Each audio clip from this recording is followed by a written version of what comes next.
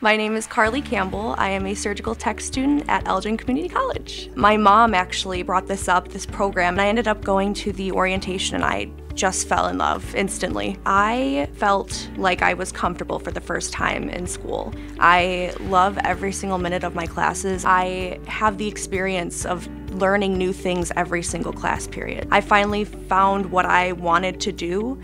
Being there at ECC with the program just really felt like home.